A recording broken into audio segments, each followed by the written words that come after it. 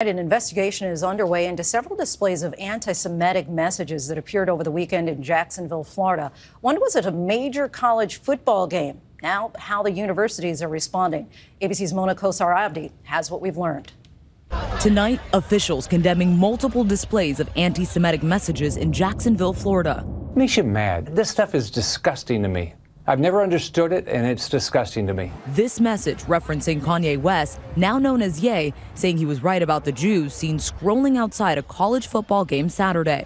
Anti Semitic messages seen at multiple locations across the city. Just last week, similar messages appearing above the busy 405 freeway in Los Angeles. Anti Semitic incidents already at an all time high, more than 2,700 cases of assault, harassment, and vandalism in 2021, up 34% from 2020. Concern growing among the Jewish community tonight. The more that anti Semitism or any form of hate is normalized, the more that extremists get emboldened by it. And frankly, the more danger there is to the community.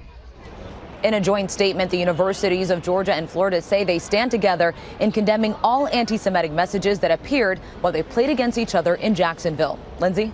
Mona, thank you. Hi, everyone. George Stephanopoulos here. Thanks for checking out the ABC News YouTube channel. If you'd like to get more videos, show highlights, and watch live event coverage, click on the right over here to subscribe to our channel. And don't forget to download the ABC News app for breaking news alerts. Thanks for watching.